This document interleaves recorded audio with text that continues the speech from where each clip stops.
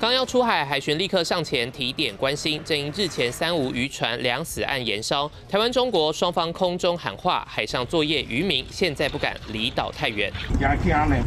那阵阮咧钓石斑鱼嘛，像东沙那边一艘大船带着十十二艘的小竹筏。过去七零年代情势紧张，渔民出海提心吊胆，隐形的海峡中线有没有越界难分辨。长期下来，现在两边渔民靠默契，看到对方自动掠过，赶紧掉头继续捕鱼。这种天气晚上就来了啦，啊，像我们在钓钓鱼的时候。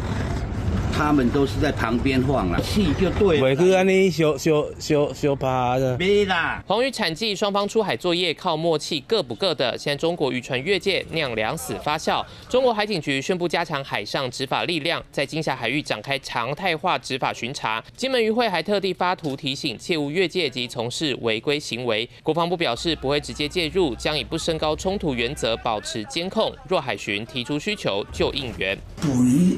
教育是行之有年，大家都是有个有个潜规则的。我们现在讲的是海峡中线呐，那如果将来真的是中线都没有了，那我想这很混乱啊，对两岸的一个关系发展绝对不是正面的。我不超过，你也不超过，只是无排船两死，让事情变得复杂。双方捕鱼现在尽量回避，就怕擦枪走火。三新闻业绩好，亮宝金门报道。